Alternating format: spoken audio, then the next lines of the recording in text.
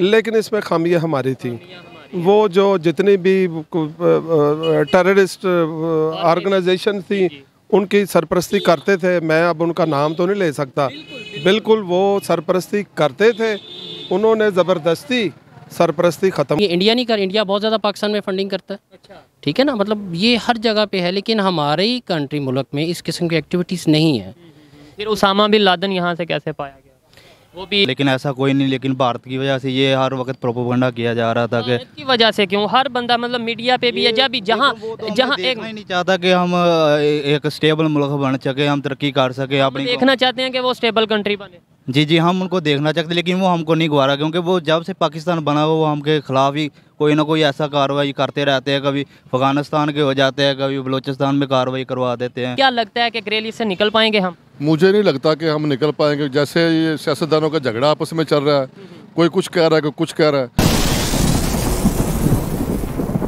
वालेकुम नमस्ते, सत श्री अकाल। मैं हूँ सुहेब चौधरी और आप देख रहे हैं मेरा और आपका YouTube channel real entertainment TV आज मैं जिस टॉपिक पर वीडियो रिकॉर्ड करने जा रहा हूँ, वो टॉपिक ये है कि गुजशत कई सालों से Pakistan F A T F की ग्रे लिस्ट में मौजूद है। काफ़ी बार हमने कोशिश की कि हम ग्रे लिस्ट से निकलें, लेकिन नहीं निकल पाए। अब कहा यह जा रहा है न्यूज़ ऐसी आ रही है कि इस बार कुछ ही दिनों में हम एफ़ ए टी एफ़ की ग्रे लिस्ट से निकल जाएँगे। पाकिस्तान की आवाम से ये बात करूँगा कि जो मौजूदा हमारे हालात हैं, जो इंटरनेशनल इमेज हमारा इस टाइम पर है पूरी दुनिया में, और उसे देखते हुए रिसेंटली जो जो बाइडन ने स्टेटमेंट दिया कि Pakistan is a dangerous country तो इन सब चीज़ों को देखते हुए क्या हम इस बार भी एफएटीएफ की ग्रे लिस्ट से निकल पाएँगे या नहीं? अगर निकल पाएँगे तो क्या उसके अंदर हमारा अपना कोई रोल होगा? और अगर नहीं निकल पाते तो क्या उसके अंदर हमारी अपनी खामी होगी कि या हम हमेशा की दफ़ा फिर यही ब्लेम करेंगे कि इंडिया की वजह से हम एफएटीएफ की ग्रे लिस्ट से नहीं निकल पाए? पाकिस्तान की आवाम से जानेंगे कि एफएटीएफ की ग्रे लिस्ट में रहने की मेन रीज़न क्या है? हमारी अपनी खामियाँ हैं या इंडिया का कोई रोल है? पाकिस्तान की आवाम इस बारे में क्या राय देती है? जानेंगे आवाम से। और जो मेरी पर्सनल ओपिनियन है वो मैं आपको बताऊँगा वीडियो के लास्ट में।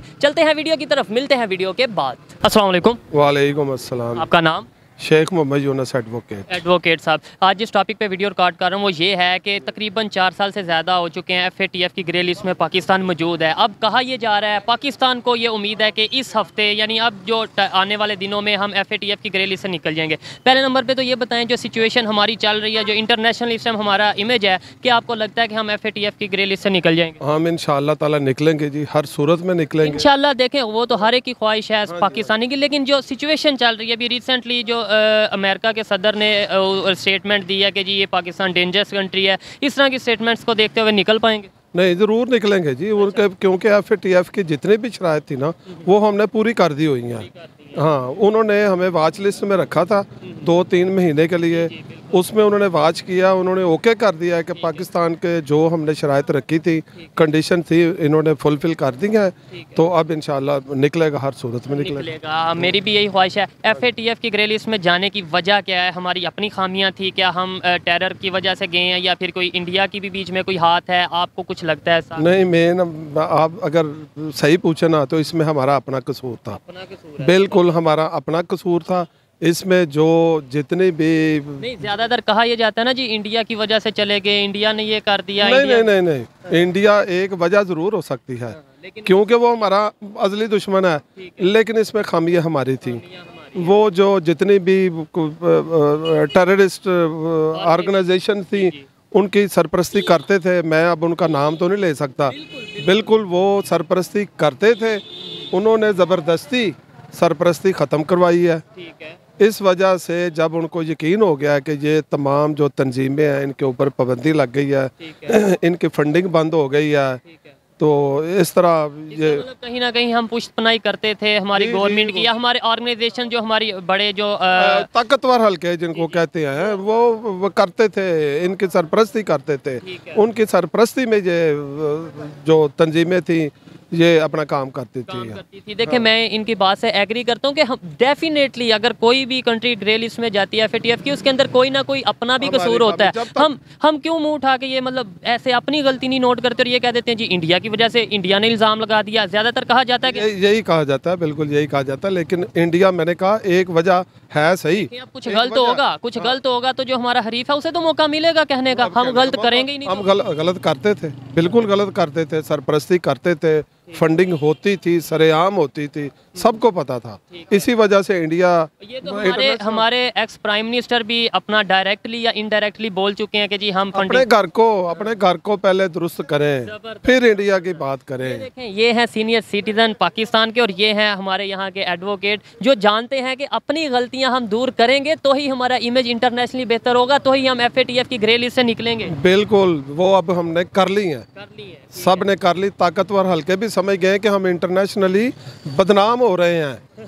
लिहाजा वो पीछे हट गए हैं। हाँ, उन्हें समझ लग गई है कि ज़्यादा देर ये जो काम चल रहा था नहीं चलेगा अब हमें अपना इमेज अच्छा करने की ज़रूरत है। बिल्कुल अब कोई चीज़ आप छुपा नहीं सकते।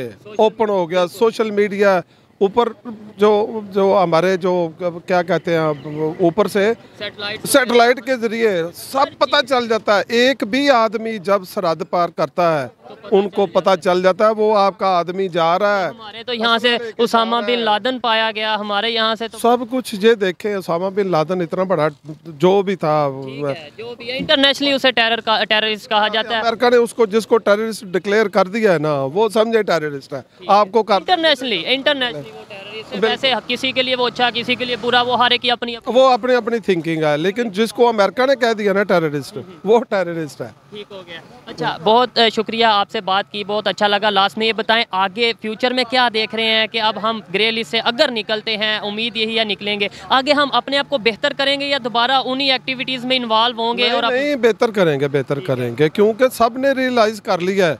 ताकतवर हलकों ने भी सियासतदानों ने भी सबने रियलाइज़ कर लिया अब हम दोबारा हमारा खराब हो रहा है। अब ठीक ही होगा इंशाल्लाह। अब कोई उस तरफ़ जाएगा नहीं। जाएगा नहीं। बहुत शुक्रिया। अस्सलाम वालेकुम। जी वालेकुम आपका नाम? मोहम्मद जुल्फ़कार। आपका नाम? जुनेद चीमा। जुनेद चीमा एडवोकेट हैं एडवोकेट हाँ। ठीक है आज इस टॉपिक पे वीडियो रिकॉर्ड कर रहे हैं। वो ये है कि अभी एफएटीएफ का इजलास होने वाला है और कहा यह जा रहा है पाकिस्तान एफएटीएफ की ग्रे लिस्ट से निकल जाएगा।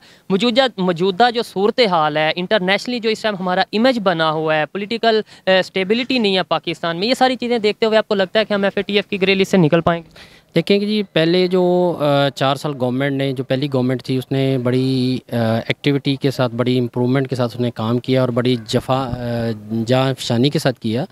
लेकिन ये है कि अब इसमें इंटरनेशनल जितनी जो है ताकतें शामिल होती हैं इसमें सारी, और वो नहीं चाहती कि पाकिस्तान ने पिछली दफ़ा 26 में 27 में से 26 हमने शायद पूरी कर दी थी। और फिर भी इन्होंने हमें ऑब्जर्वेशन में रख दिया था कि जी, हम अगले इजलास पे फैसला करेंगे। लेकिन अब जो हाल ही में सनेलियो आपने देखा है कि जो है अमेरिकन ने स्टेटमेंट दिया। जी उनके सदर जो बाइडन ने जो स्टेटमेंट दिया। हाँ उसके हवाले से मे बी वो कंट्राडिक्शन उन्होंने ये डेवलप किया है कि ये डेंजर कंट्री है। और डेंजर जो स्टेबिलिटी नहीं है स्टेबिलिटी नहीं है। तो इसके हवाले से जो स्नैलियो है डेफिनेटली इसमें हमारी इस्टेब्लिशमेंट का बहुत अच्छा रोल है। उन्होंने आगे भी पाकिस्तान को जो ना इन चीज़ों से बचाया है और इन उम्मीद है कि हम इस चीज़ से लेकिन ये चीज़ हमें वो टाइम फिर ग्रेस पीरियड दे देंगे। लेकिन निकलेंगे नहीं हम। नहीं क्योंकि इसमें इंडिया की जो लॉबी है अच्छा। वो बहुत मेन किरदार अदा कर रही अच्छा, है। पाकिस्तान में हमेशा ये एफएटीएफ की जब भी बात होती है ग्रे लिस्ट की जब भी बात होती है कहा यह जाता है इंडिया की लॉबी इंडिया ने हमारे अगेंस्ट ये कर दिया आखिर इंडिया हमारे अगेंस्ट करता क्यों है? हमारी अपनी कोई खामी नहीं। मतलब इंडिया झूठ बोलता है क्या? अगर कोई बात होती है तो वो आगे पूरी इकोनॉमिकली देखें अमेरिका की उनके साथ इकोनॉमिकली कॉन्ट्रैक्ट है वर्किंग है मार्केट इंटरनेशनल मार्केट है इंडिया के पास है। हमारे पास तो कुछ भी नहीं है। तो वो इंडिया के पास अगर इंटरनेशनल मार्केट है इंडिया अगर अपनी वर्थ रखता है तो वो अपने काम की वजह से रखता है। उन्होंने अपनी वर्थ बनाई है। इम्प्रूवमेंट है ना उनकी उनकी आईटी का मतलब आईटी का उनका जो है छः सात अरब रुपया मतलब वो इम्पोर्ट एक्सपोर्ट ज़्यादा कर रहे हैं। भी ज़्यादा दूसरे नंबर पे अ, जो बात की जाए अगर उनकी इकॉनमी की दुनिया की पांचवी बड़ी इकॉनमी है यूके को पीछे छोड़ दी है तो हम अपने खामियों पे क्यों नहीं ध्यान देते? हम हमेशा इल्ज़ाम क्यों लगाते हैं? लेकिन उसमें ये देखिए ना उसमें जो हमारी मैनेजमेंट है बेसिकली वो जो ब्यूरोसी के स्नैलियों से निकल नहीं रहे वो स्टैंडर्ड्स के चक्कर में हम लोग पड़े हुए हैं। मतलब हम लोग, वही वही लोग हम बाहर जाके रुपीज़ काम कर लेते हैं। यहाँ हम काम करने को तैयार नहीं है। ज़बरदस्त बहुत अच्छा लगा आपसे बात करके। और मुझे बस लास्ट में आपने ये बताना है कि जिस जिन वजूहत की वजह से हमें एफ़ ए टी एफ़ की ग्रे लिस्ट में डाला गया क्या वो वाकई वजूहत पाकिस्तान में मौजूद थी? यानी वजूहत उनमें से ये थी कि ये टेरर फंडिंग होती है ये चीज़ें होती हैं। मैं आपको एक्सप्लेन करता हूँ। बेसिकली जो हमारा पाकिस्तान है ना वो एक मेन फोकल पॉइंट पे है। ठीक है? उसमें चाइना का बड़ा रोल है। चाइना की पार्टिसिपेशन हमारे साथ बहुत ज़्यादा स्ट्रॉन्ग है रिकमेंडेशन हैं और न्यू वर्ल्ड ऑर्डर के पॉइंट ऑफ़ व्यू से ये उनको पता है कि अगर पाकिस्तान को हमने फैसिलिटेट किया तो कल को ये कंसोशियम बड़ा स्ट्रॉन्ग चाइना, पाकिस्तान ये बड़ा स्ट्रॉन्ग मतलब रशिया जो है ब्लॉक रशिया के साथ ब्लॉक बन सकता है। तो इनकी ये पूरी कोशिश है कि पाकिस्तान को इकोनॉमिकली और वैसे भी इंटरनेशनली ख़राब रखा जाए और ये हमारे मरोने मिन्नत रहें। ठीक है वो बात ठीक है लेकिन क्या हम फंडिंग नहीं करते रहे? आपको क्या लगता है? उसमें देखें उसमें ये इंटरनेशनल एजेंडे हैं।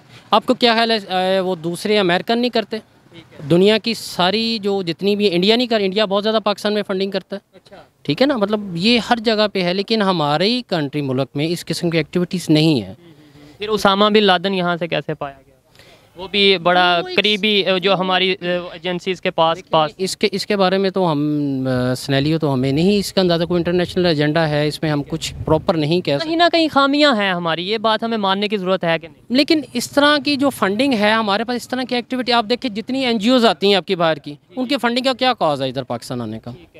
वो अपना इंटरेस्ट वॉच करते हैं ना। ठीक है ना? इंटरनेशनल जितनी भी आपकी एन हैं, इस्लामाबाद में आपके सारे एनजीओ सारी बैठी हुई हैं और किसी बेस पे ही है ना। ठीक है? हमारे मुल्क में क्या उनको क्या मतलब डेवलपमेंट नहीं हो पा रही? तो बेसिकली हमारे मुल्क में ये कॉज ये इश्यूज़ ही नहीं है हमारे। हमारे इश्यूज़ तो हमारा, हम तो आगे बॉर्डर लाइन पे बैठे हुए हैं बॉटम लाइन पे बैठे हैं गुर्बत की वजह से। ठीक है ना? हम लोगों के पास इतना टाइम हो तो हम मतलब और कुछ काम ना कर सकें।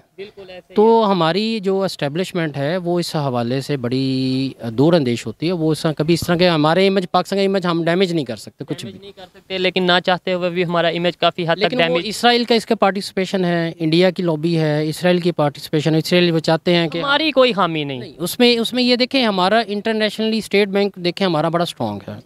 ठीक है। अब देखें कि आपने जो मनी लॉन्ड्रिंग का एक्ट है उसमें कितनी हमने पाबंदियाँ लगाई हैं। अब आप किसी बैंक में जाते हैं तो आपसे पूछते हैं रीज़न बताएँ पैसे फंड नहीं सकते इवन रीजन क्या? रीजन के बगैर भी कुछ कंट्रीज़ ऐसी हैं इंडिया से इवन आपको पैसे लॉजिकली आए थ्रू प्रॉपर वे आए आएँगे एक्सप्लेन करना पड़ता है कि जनाब ये गिफ्ट है ये ब्रदर के लिए भाई के लिए। है तो हमारे रूल्स हो गए बड़े स्ट्रांग इतने इंडिया के स्ट्रांग नहीं है रूल आप जाके देखें जाके। तो नोट करें लाभ लोन देखें इतने स्ट्रांग जितने स्ट्रांग हमारे तो अगर इंडिया में इतनी खामियाँ हैं उनका ये रोल नहीं स्ट्रांग उनका ये फिर भी उनका इमेज इंटरनेशनली इतना बेहतर क्यों होता जा रहा है? क्यों वो मज़बूत होते जा रहे हैं? मेरा सिर्फ़ लॉजिक ये है। देखें ये आप सीनियर हैं हमारे से हम चाहते हैं आपकी जो राय है वो आगे पहुँचाई जाए। देखिए एक्चुअली ये है कि उनकी एक तो मार्केट बहुत बड़ी है उनके पास। ठीक है, हमारे लोग जितने भी हमारे मतलब प- मतलब हमारी मैनेजमेंट है या हमारे पॉलिटी पॉलिटिशियंस हैं, वो हमारी नई मार्केट हमें ढूंढते नहीं हैं। मुख्तलिफ़ किस्म की कंडीशंस हैं हमारे पास। तो यही तो वजह ना कि हमारा हमारा ट्रस्ट ही नहीं हमारे पे शायद लोग करते जो हमारी नहीं तो दुनिया की पांचवी छवीं बड़ी। जो फाइनेंशली जो आप एक बात कर रहे हैं कि फाइनेंशली क्या प्रॉब्लम हमारा उस तरह की एक्टिविटीज़ नहीं है। हमें जोन नहीं प्रोवाइड किया जाता। हमें प्रॉपर जोन हो मतलब अमेरिका में यूरोप में हमें मार्केट की असेस हो हमारे पे तो इतने टैक्सेस हैं कंडीशन बहुत ज़्यादा उन्होंने लगाई हुई हैं। इतने इतना कोटा है इस कोटे से ज़्यादा आप कर नहीं सकते। बांग्लादेश क्यों इम्प्रूव हुआ है? बांग्लादेश में नहीं एफ़ एटी एट बांग्लादेश में नहीं है। वहाँ नहीं कोई रोल अदा कर रहा। क्योंकि डेफिनेटली उन्होंने अपनी मार्केट भी डेवलप की और उन्होंने उनकी कंडीशन के मुताबिक काम भी किया। लेकिन उनको सिर्फ़ यहाँ हमारे ये है कि जितने भी आपके फाइनेंशियल इंस्टीट्यूशंस हैं, उसमें सारे यहूदी लॉबी बैठी हुई है। ठीक है? और मतलब तो सारा उनके लॉबो के मुताबिक काम किया जाता है। आईएमएफ है वो आपके साथ है दूसरे सारे हैं। जब तक आपकी इंटरनेशनली फंडिंग इम्प्रूव नहीं होती आपके एसेट्स इम्प्रूव नहीं होते आपको तो क्रेडिट दे कोई नहीं देगा कोई कोई मुल्क नहीं देगा क्रेडिट बिल्कुल ऐसे ही है। तो हमारा इमेज इंटरनेशनली तभी बेहतर होगा जब हमारे रिलेशन दूसरे कंट्रीज़ के साथ बेहतर होंगे जब हम दूसरे कंट्रीज़ के साथ अपनी मर्ज़ी के साथ के ट्वेंटी ट्वेंटी सेवन से ट्वेंटी सिक्स कंडीशन हमने कोई ऐसा मुल्क दुनिया का नहीं जिसने ट्वेंटी सिक्स कंडीशन पूरी की हूँ। नहीं तो ऐसे तो कई कंट्री हैं जो एफएटीएफ में आई नहीं है हम तो आए नहीं। आप तो आ चुके हैं ना। फिर उसके बाद ये है कि हम मतलब मलेशियन इंडोनेशियन जितना भी है सारों ने मतलब इस चीज़ को तारीफ़ किया है बल्कि इवन एफ़ के तो प्रेसिडेंट ने उसका जो उनका था मतलब प्रेसिडेंट था उन्होंने कहा जी कि वाकई पाकिस्तान ने इम्प्रूव किया उन्होंने ये बोला कि इम्प्रूव भी किया और उन्होंने अनबिलीवेबल कहा है कि ये चीज़ें ऐसे ये कंप्लीट मतलब हम यकीन नहीं आता कि इतनी जल्दी उन्होंने कंप्लीट किए हैं। तो इसमें एस्टेब्लिशमेंट ने बहुत रोल अदा किया है। इसमें कोई शक नहीं है। बहुत शुक्रिया। अच्छा लगा आपसे बात करके। आपकी राय थी। आपको कैसी लगी? हमें कमेंट में ज़रूर बताइएगा। आइए किसी और से बात करते हैं। शुक्रिया। थैंक यू टेक केयर असलम वालेकुम वालेकुम सलाम। आपका नाम? मोहम्मद यासिन गुजर जी। मोहम्मद यासिन गुजर क्या करते हैं आप? मैं इधर सबक क्लर्क बार का प्रेसिडेंट हूँ। और मौजूदा जो सेशन कोर्ट और ज़िला कचहरी में जो स्क्रूटनी कमेटी बनाई है है। जनाब ऑनरेबल सदर बार मलक अब्दुस्तार साहब ने उसका मैं स्क्रूटनी चेयरमैन हूँ। चेयरमैन है ठीक है। अच्छा जिस टॉपिक पे वीडियो रिकॉर्ड कर रहे हैं वो टॉपिक ये है कि पाकिस्तान एफ़ की ग्रे लिस्ट से शायद निकल जाए। अभी खबर ऐसी आ रही है कि ये आने वाले हफ़्ते में या कुछ दिनों में निकल जाएगा। ये बताएँ जो सिचुएशन हमारी चल रही है जो हमारी कंडीशन है इंटरनेशनल इमेज है इस टाइम पे हुकूमत स्टेबल नहीं है और इमेज ख़राब है। क्या लगता है कि ग्रेली से निकल पाएँगे हम? मुझे नहीं लगता कि हम निकल पाएँगे। जैसे ये सियासतदानों का झगड़ा आपस में चल रहा है, कोई कुछ कह रहा है, कोई कुछ कह रहा है। मुश्तरका अलामिया अगर सारे सियासतदान जारी करें यूनिटी हो। हमारी कौम के अंदर हम बसीत कौम बनकर उभरें तो फिर मैं यकीन रख सकता हूँ कि हम अंग्रेज़ से बाहर निकल सकते हैं। वरना मुश्किल है। ठीक है। ये बताएँ कि वजह क्या है? क्या हमारी अपनी खामियाँ थी जिसकी वजह से हम चार साल से जायद ग्रे लिस्ट में रहे हैं या फिर कोई और? अक्सर हमारे यहाँ पे हमारे मीडिया में ये कहा जाता है जी इंडिया की वजह से हम ग्रे लिस्ट में इंडिया ने हमें ग्रे लिस्ट में डलवाया। क्या इंडिया का हाथ है या हमारी अपनी खामी नहीं इंडिया इंडिया का हाथ भी हो सकता है लेकिन असल कमी हमारे अपने अंदर है। जो हमारे सियासतदान हैं जो हमारा रुपया बाहर ले गए हैं जो उन्होंने बाहर में रही। बैरून मुल्क जाकर जायदादें बना ली हैं जो फंडिंग हुई हैं। ऐसे जब मामला इंटरनेशनल इशू में आएँगे इंटरनेशनल लेवल पर जब ये हमारी बदनामी होगी। उसके बाद ये प्रॉब्लम आ रही है कि हम ग्रेली से निकल नहीं रहे। ग्रेली से निकल नहीं पा रहे। तो इंडिया को क्यों कसूरवार हम कहलवा बार बार कहते हैं हमारी मीडिया या हमारे जो उनसे ऊपर हैं सीनियर पॉलिटिशियन वो क्यों कहते हैं इंडिया ऐसे अगर लेट सपोज़ इंडिया ने हमें ग्रे लिस्ट में डलवाया तो हम इंडिया को क्यों नहीं डलवा सके? बात है। हाँ वो हमारी खारजा पॉलिसी में कमी है। वो हम समझते हैं कि हमारी खारजा पॉलिसी कौम जो है ना वो कमज़ोर है और हमारी खारजा जो सिस्टम है खारजा पॉलिसी का वो मज़बूत होना चाहिए। इंडिया हमारा दरीना दुश्मन है वो हर प्लेटफार्म पर हमारी मुखालफत करता है और इसलिए करता है कि उसे लेट सपोज़ मान लेते हैं मैं तो दुश्मन नहीं मानता मैं ये कहता हूँ कि देखें इंटरनेशनल पॉलिटिक्स में जहाँ पे जिसको कोई फ़ायदा नज़र आता है वो अपना फ़ायदा उठाएगा। हम मौका देंगे तो ही वो ऐसा करेगा ना। लेट सपोज़ वो हमारा दुश्मन है तो हमने कुछ ऐसा किया तो उसे फ़ायदा मिला। वो फ़ायदा इसीलिए वो उठा रहा है कि हमारा सलूक नहीं है। हम बामी मुश्तरक अलामिया को जारी कर सके। हमारे सियासतदान बटे हुए हैं हमारा सिस्टम बटा हुआ है। हम सब अपने ज़ाती मसलों में उलझे हुए हैं। ठीक है। ग्रे लिस्ट में जाने की जो मेन रीज़न बताई जाती थी इंटरनेशनली वो ये थी कि जी यहाँ पर जो टेररिस्ट ऑर्गेनाइजेशन है उनकी फंडिंग होती है या उन्हें यहाँ पर पनाह दी जाती है। आपको लगता है ऐसा था? और अगर था तो अब रहा है या नहीं? नहीं हमारे मुल्क में कोई ऐसी टेरर सिस्टम नहीं है। हम अमन पसंद लोग हैं अमन पसंद मुसलमान हैं और कोई भी ऑर्गेनाइजेशन यहाँ पे काम नहीं थी कर दहशत गर्दी का कोई पाकिस्तान में कोई सिस्टम नहीं है इस वक्त।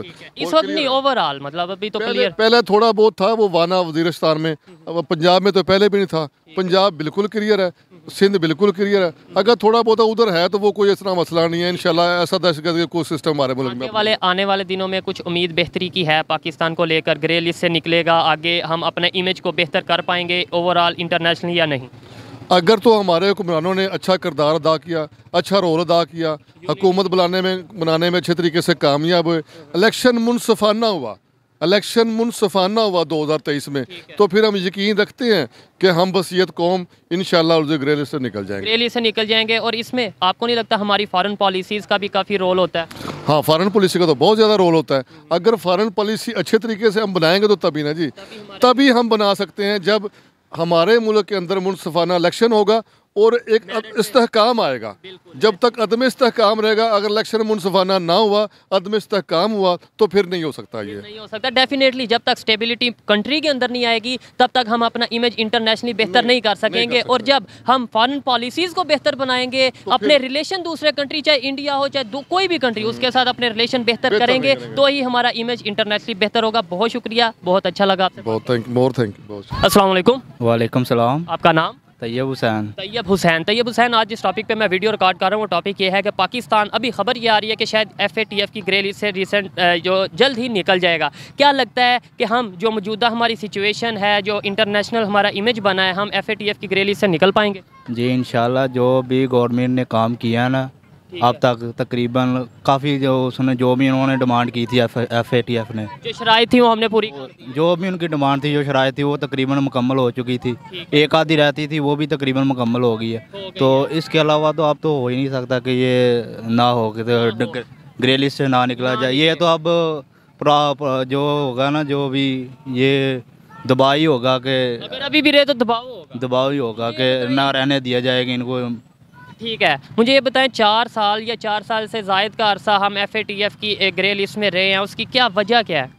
वजह यही है कि मुल्क के हालात ही कुछ इस तरह के कर दिए थे कि मनी लॉन्ड्रिंग इतनी हो रही थी और फॉरेन फंडिंग हो रही थी। जिसकी फंडिंग हो रही थी इसके अलावा जो एक इल्ज़ाम था कि टेररिस्ट जो ऑर्गेनाइजेशन ये भी था कि लोग जो थे दहशत गर्दी की हम मामलत करते हैं लेकिन ऐसा कोई नहीं लेकिन भारत की वजह से ये हर वक्त प्रोपोगंडा किया जा रहा था कि की वजह से क्यों? हर बंदा मतलब मीडिया पे भी है जब भी जहाँ जहाँ एक नहीं चाहता कि हम एक स्टेबल मुल्क बन सके हम तरक्की कर सके अपनी देखना चाहते हैं कि वो स्टेबल कंट्री बने। जी जी हम उनको देखना चाहते लेकिन वो हमको नहीं गवारा क्योंकि वो जब से पाकिस्तान बना हुआ वो हमके खिलाफ ही कोई ना कोई ऐसा कार्रवाई करते रहते हैं कभी अफ़गानिस्तान के हो जाते हैं कभी बलूचिस्तान में कार्रवाई करवा देते हैं कभी ये हालात बाउंड्री के आपका कहने का मतलब है इंडिया की वजह से हम इस तरह के हाला कंडीशन में आते हैं। तो दुनिया जो देख रही है जिन्होंने हमें एफ़ की ग्रे लिस्ट में डाला है तो उन्हें नहीं पता चलता? हमें अगर आपको पता चल गया मुझे मतलब आप आप जैसे आम इंसान को पता चल गया जी इंडिया ऐसा कर रहा है मुझे ये बताएँ तो उन्हें नहीं पता चलता कि इंडिया ये कि आजकल जो दौर जा रहा है ना इसमें पार्टनरशिप चल रही है रिलेशनशिप होती है कि लोगों के मफादात होते हैं कंट्री से मैं एग्री करता हूँ। और दबाव इसलिए नहीं उसके ऊपर डाल दे क्योंकि उसके हर मुल्क के उसके ऊपर जो होते हैं ना उनके अपने मुतालबात होते हैं बिज़नेस होता है जो भी वो रिलेशनशिप होता है जिसकी वजह से वो उस पर प्रेशर नहीं डाल दे। ठीक है मान लिया एक मिनट के लिए आपकी बात मान ली उनके हर मुल्क के साथ रिलेशन अच्छे हैं बिज़नेस चल रहे हैं फिर मैं यही क्वेश्चन आपसे करता हूँ कि हमारे बिज़नेस क्यों नहीं चलते कि हर कंट्री के साथ हमारे रिलेशन क्यों नहीं अच्छे होते दूसरी कंट्रीज़ के साथ? ये भी सोचने वाली बात है। बात तो ये है कि हमारे हालात कहीं ना कहीं हमारी खामी है। ये तो बात है कि हमारा जो भी एक जो उनका वो खुद ही कहते हैं कि भारत के मैंने तो इतनी दो तीन ही चेंज की जितनी इनके वज़ीर अजम चेंज हो गए। और इसके बाद जो भी वाले ये कहते ये कहते हैं उनका वो इंदिरा गांधी ने कहा जवाहरलाल नेहरू ने कहा कि हमने तो इतनी धोती नहीं चेंज की जितनी इन्होंने वज़ीर आज़म चेंज कर दी तो उसमें कोई झूठ वो जी आए दिन देख रहे हैं आप खुद देख रहे हैं कि दुनिया को भी पता चल रहा है कि इनके ऊपर जो हालात है आवाम का कोई अपना इत, अपना इतमाद ही नहीं है कोई ऐसा हुक्मरानों पे इतमाद नहीं नहीं है है और जो भी आता है और प्लानिंग के तहत आ जाता है बाहर से बिठाते हैं और ले जाते हैं ले जाते हैं इसका मतलब कहीं ना कहीं हमारी अपनी खामियाँ हैं। हमारी अपनी गलती हमें चाहिए कि आपस में फिर अवाम में इतिहाद पैदा करें और आपस में रह के मुल्क को तरक्की की तरफ़ गामजन करें। यूनाइटेड हों यूनाइटेड होंगे तो आगे हम डेवलपमेंट की तरफ़ जाएँगे। मुझे ये बताएँ जिन वजूहत की वजह से हमें एफएटीएफ की ग्रे लिस्ट में डाला गया था मनी लॉन्ड्रिंग या इसके अलावा ये टेरर फंडिंग की वजह से ख़ास तौर पे कि जी टेररिस्ट ऑर्गेनाइजेशन यहाँ पे काम करती हैं या जिनको सपोर्ट किया जाता कहा यह गया इल्ज़ाम ये लगाए गए। आपको लगता है ऐसा था? जी ईमानदारी से बताइएगा। नहीं ऐसा तो नहीं था लेकिन फिर भी दबाव था कि कुछ रह गए थे प्रोग्राम जिसकी वजह से कोई भारत इंतज़ाम लगाए थे। लेकिन हमने जो उन्होंने डिमांड की थी वो तो हमने मुकम्मल कर दिया। लेकिन इसकी एक ही रीज़न है कि वो कि वो चाहते नहीं कि पाकिस्तान तरक्की करे। क्यों नहीं चाहते और कौन नहीं चाहते? इसके काफ़ी सी रीज़न है जैसे कश्मीर का मसला है कि अगर पाकिस्तान तरक्की अच्छा ये अच्छा इंडिया की बात कर रहे हैं जी, जी। इंडिया को एक मिनट के लिए साइड पे रख देते हैं। एफएटीएफ सिर्फ़ इंडिया के सर पे तो नहीं चलती। एफएटीएफ जो। एक ये जो भी ऑर्गेनाइजेशन है जिन्होंने ये एफएटीएफ बनाई है जिन कंट्रीज़ ने मिल वो सिर्फ़ इंडिया के कहने पर तो नहीं सारा कुछ करेगी। तो दूसरे कंट्री क्यों नहीं हमारा साथ देते? ये हमारे असल में चाइना ही नहीं हमारा ऐसा जितना साथ देता है। वैसे चाइना कहता है। देखिए ना हमारे जितने भी हुक्मरान आए हैं ना वो अपनी जो खारजा पॉलिसी है ना वो इस तरह नहीं अपना काम कर सके जिससे मुल्क का अपना बेहतरी की तरफ़ गामजन आप एट दी एंड घुमा फिरा के बात पे आ गए हैं कि कहीं ना कहीं हमारी फॉरेन पॉलिसीज़ में हमारे इंटरनेशनल जो रिलेशंस हैं दूसरे कंट्रीज़ के उनमें कहीं ना कहीं खामी है। जी जी। तो हमें इम्प्रूव करने की ज़रूरत है। जी जी हमें कोशिश करनी चाहिए कि अपने सारे भी आप जो भी अख्तलाफात हैं उनको बुला के और मुल्क की खातर और कौम की खातर तरक्की की तरफ़ हमें गामजन होना चाहिए। बहुत शुक्रिया अच्छा लगा आपसे बात करके। जी तो दोस्तों ये थी आज की वीडियो पाकिस्तानी पब्लिक की ओपिनियन पाकिस्तान के जो सीनियर सिटीजन हैं उनकी ओपिनियन आप तक पहुंचाइए और अगर इस हवाले से मेरी पर्सनल ओपिनियन की बात की जाए तो पाकिस्तान अगर एफ़ ए टी एफ़ की ग्रे लिस्ट में गया था तो वो अपनी खामियों की वजह से हम लोग गए थे। और अगर अब एफ़ ए टी एफ़ की ग्रे लिस्ट से निकलते हैं तो वो भी हमारे लिए बेहतर होगा। लेकिन हम जो हर बात पे ये कहते हैं कि जी हम एफ़ ए टी एफ़ की ग्रे लिस्ट पे गए, इसलिए कि इंडिया ने साजिश कर दी इसराइल ने साजिश कर दी यहूदी लाबी ने ऐसा कर दिया तो हमें इन चीज़ों को से हट कर अपनी खामियों पर हमेशा मैं हर वीडियो में यही कहता हूँ, हर टॉपिक पर यही कहता हूँ कि हमें अपने आप पर गौर करने की ज़रूरत है, अपनी खामियों को जानने की ज़रूरत है। जब हम अपनी खामियों को जानेंगे, जब हम अपना इमेज अच्छा बनाएँगे इंटरनेशनली जब हमारे रिलेशन दूसरे कंट्रीज़ के साथ ख़ास तौर पे अपने नेबर्स के साथ अच्छे होंगे, तभी हम इंटरनेशनली अपना एक सॉफ्ट इमेज बना पाएँगे। और फिर ही हम इस तरह से एफएटीएफ से बचेंगे या इस तरीके से जो भी हमारा जो टैग है नेगेटिव इमेज है, वो चेंज होकर पॉजिटिव इमेज में बदलेगा।